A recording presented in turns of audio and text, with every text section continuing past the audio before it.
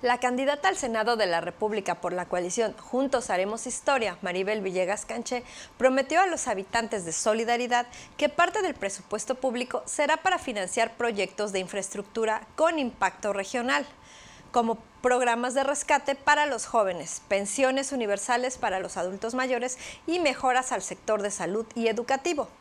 Pero parece que a la candidata se le olvida que todas sus fantásticas ideas, por cierto, copia de las propuestas de su líder de partido, tienen que someterse a votación dentro del Senado. Pero para ella ya es costumbre prometer, mentir y hablar sin pensar. El hambre de poder no la deja ver más allá que todo lo que se robará estando en el poder. Así que seguir con su verborrea política a ella no le cuesta nada. Pero decirle a la ciudadanía que hará maravillas con un presupuesto que ni siquiera se ha aprobado, eso sí es rayar en la locura.